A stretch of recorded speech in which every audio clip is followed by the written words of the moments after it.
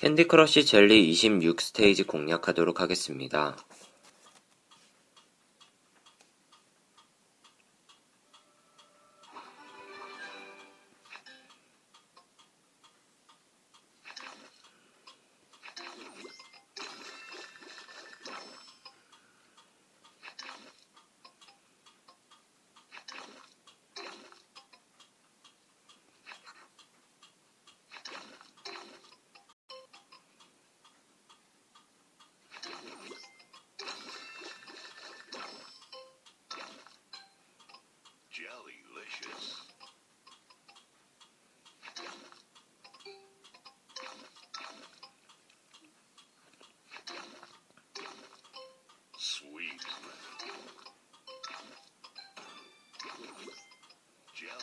Ashes.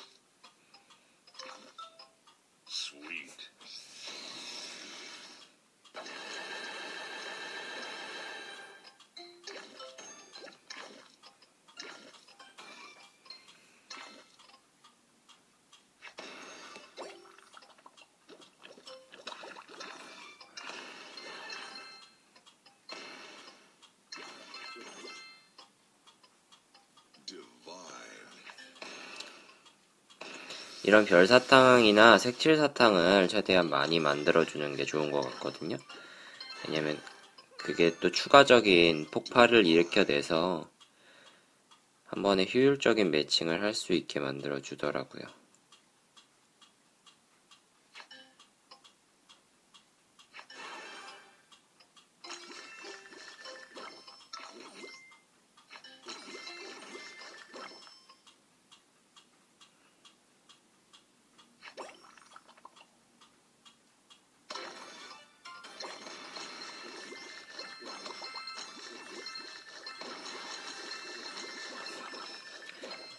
핵심은 역시 별사탕과 색칠사탕의 활용이었던 것 같아요.